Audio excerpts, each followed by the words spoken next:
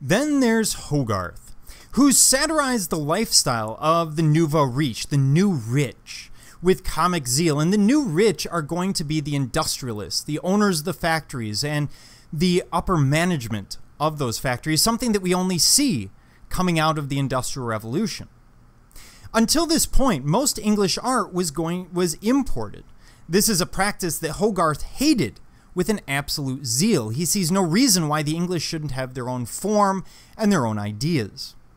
He created a truly English form of art with the deep biting satire that you see on, well, weekly news quizzes or any other BBC comedy. The piece we're looking at is Breakfast Scene, and this is one in a sequence of works. This is a favorite device for the artist. He's looking at this series which will be called Marriage a la Mode. Breakfast Scene is just one piece of it.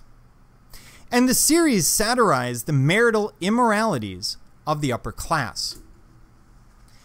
Now, here in Breakfast Scene, what you're seeing is exactly those immoralities and improprieties. The husband and wife are tired after following their nightly pursuits. We see a dog who's going to be sniffing a lacy cap. So, what does that mean? That means that he's been out, probably with a lady, because that's a lady's nightcap.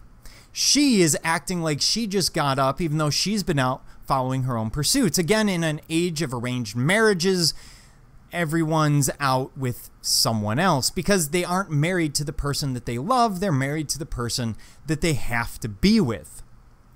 Then we see this steward, and he's there with a hand full of unpaid bills, looking for heavenly guidance in despair of his master's behavior.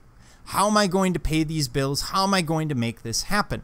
By the way, the answer to that is frequently the master getting credit, thus building debt, and the idea was hopefully you die before the debt comes due. In the background, we get a clear signal of what's going on. So, the draped work that you see pointed to here is actually an erotic painting, next to uncovered paintings of the saints. Now, this would have been really common. You would have had erotic artwork in the home, maybe one or two pieces, and you would put a curtain in front of it for propriety's sake. And then when you want to see it, you would pull a string which opens it up, and everyone gasps and looks at it and goes, wow, that's, you know, whatever. Usually it's going to be some form of reclining nude, eh, an issue we'll get to later on. So, overall, what we have is signs of something that isn't really what it would seem. At first look, what we should see is a happy couple, the butler who's taking care of everything, a well appointed home. But as we dig deeper, we see that there's more to it. And that's Hogarth's biting satire. The idea that I can hide things within this painting that if you know how to look at it, you're going to see, including things like the open violin, the papers on the floor, the general mess. And we've all been there. We've all walked into that home where someone goes, Oh, sorry for the mess. I need to take care of this. And in some cases, you believe them. In some cases, the house is clean and you go, What mess?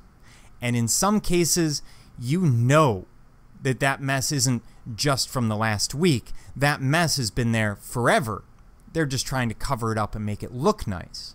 And it's getting past those niceties. It's going to be key to understanding Hogarth and his typically English satire.